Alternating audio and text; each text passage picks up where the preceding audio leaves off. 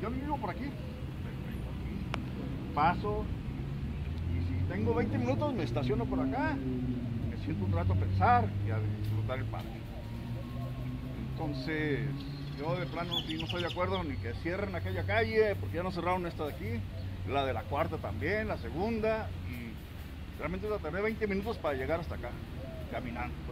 No hay lugares donde estacionarse, ya estaba yendo acá en los Muguerza, y no es posible. ¿ah?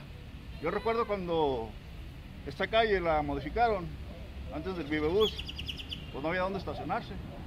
Y los restauranteros y negocios dijeron, no, no, no, no, ah, váyanse hasta la Aldama porque hay muchos estacionamientos, vénganse caminando de la Aldama para acá. Y ah, ahí uno les va a dar un infarto, estoy seguro.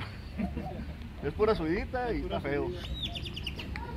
Ahora esto de cerrar las calles, pues está mal, o sea, porque si así voy a ir a algún lugar, aquí tengo que dar unas vueltesotas, como dice la señora, voy hasta allá y también nos implica un costo de gasolina.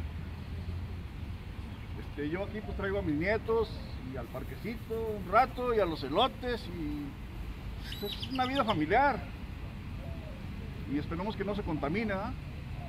Esto yo sí deseo que ni un árbol menos, o sea, la verdad. Hay muchas cosas sueltas por ahí. No han resembrado nada. Desde la helada del 2011, ahí están. Le tomo su eslogan y lo supongo.